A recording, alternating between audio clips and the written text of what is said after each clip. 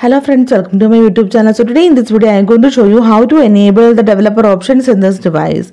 To enable the developer options, go to settings, then scroll down. Here you can see the option about device.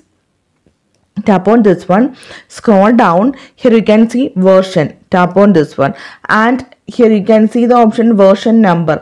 Tap on 7 times on the build number to enable the developer options then if you set any screen lock then you have to enter the screen password. Now you can see you are now a developer. You can see right? Then go back to your settings tap on additional settings scroll down you can see developer options.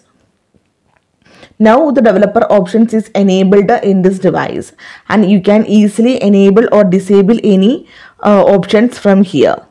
You can see so simply in this way you can enable the developer options in this device. So hope you guys enjoy this video. Thank you for watching. Thank you. Bye bye.